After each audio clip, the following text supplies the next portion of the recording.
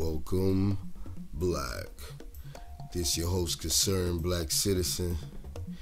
Make sure you subscribe to the channel, like this video, and share this video, and hit that notification bell for all updates. Let's get it. Latin people, we're, we're, the largest ethnic group in, my, in America, the oldest ethnic group.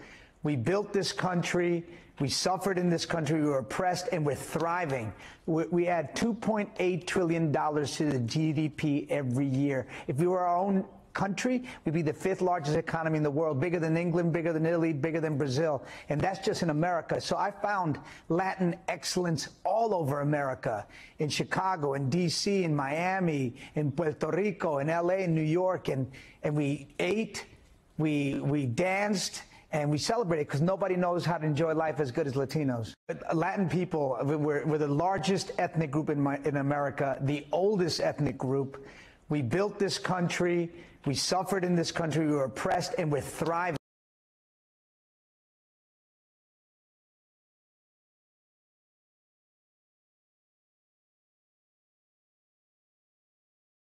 Oh, we're seeing this you know, concerted effort to erase history and in schools, in history books. Uh, yeah, disgusting is that column, yeah. DeSantis in Florida, you know, and you're trying to push the ball in the other direction, which yes. is let's look at our history. Let's look at the contributions of this. We have to push back. We have to fight against that attempt to take our history out that we're trying to put back in because it's not in there. If American history books aren't accurate, they're fiction. It's a fiction. If you don't put all the things that really happened, we let people are the only ethnic group that has fought in every single war America has ever had, and we're the most awarded in each of those wars. And I'm talking about the American Revolution. Those stories are nowhere to be seen. They're nowhere written. And so this fight, we need to double down on the fight and protect and stay woke. On, on, on, even though they're making it sound like being woke is a bad thing, it's a great thing. Oh, we're seeing this, you know.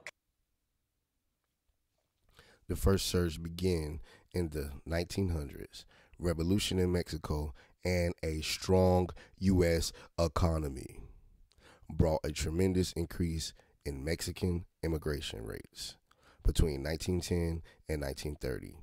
The number of Mexican immigrants counted by the U.S. Census tripled from 2,000, 200,000 to 600,000. So you see, a strong U.S. economy sounds like it was already built. So that proves you lied right there, uh, Mrs. John. Uh, well, we'll call you Jamie. I don't really know where you went by during this movie, but trust me, bro, we did not forget. See, you coming out here, um, spewing all these lies about history, brother I'm a person whose grandfather fought in the majority of the wars. My uncle fought and the rest of them after my granddad. See, my family built this country. So for you to say, us Latinos, we're the oldest ethnic group in the country, says who? Says you?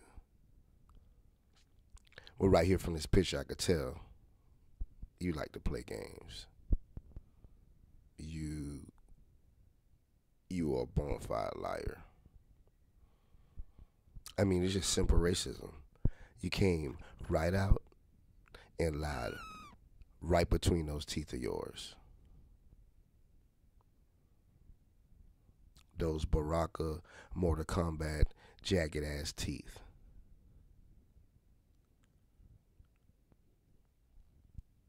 And we're not gonna stand from it for it. We definitely gonna push back. And I mean, the things he said, you see them slip up. Oh, here in Miami, uh, bro, you was literally talking about Miami because the show says you're in Miami, and you know if you was referencing Miami, Latinos didn't even build Miami. Don't get it twisted. You can't build something that's already built.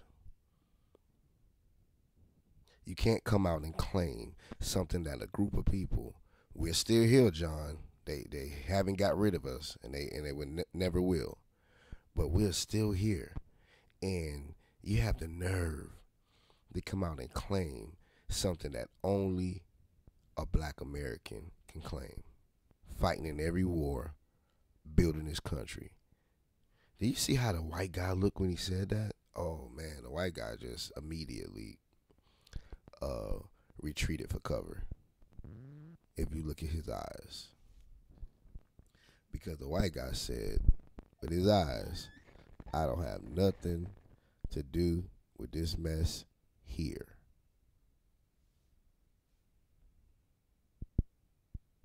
And and this is a political ploy. If you guys don't know, this is an attempt to somehow garnish some type of uh, credibility. Um, either the roles done dried up, or he's running for some type of uh, political position in the Latin community.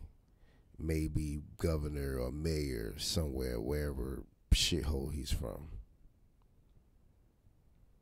Because doing all this, it's a reason behind it. I'm almost sure of it.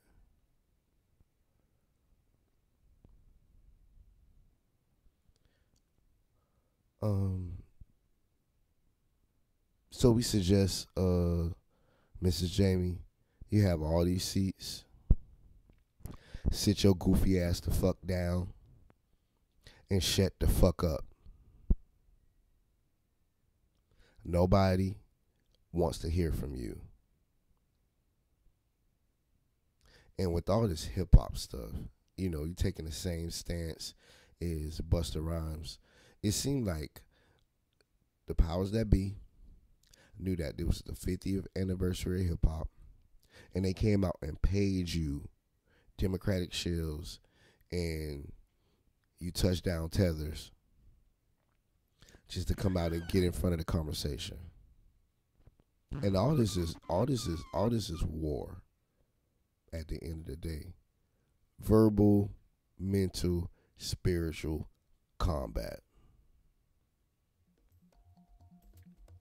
Well, don't think we forgot homeboy, cause we'll put this picture out there.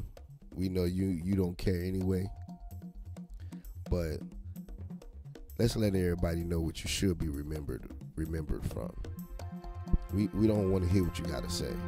Just tell us uh, what color lipstick you like wearing.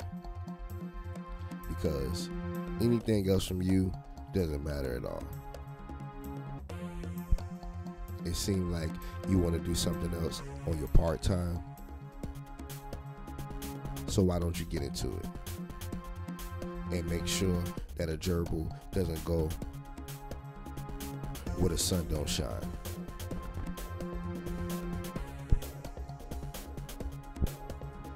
And if you like what you hear here,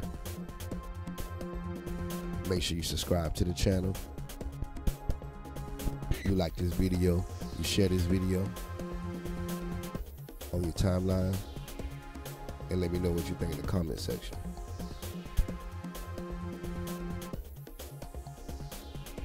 Has Jacob John lost his fucking mind? I would say so. I think he has. And I see you in the next video.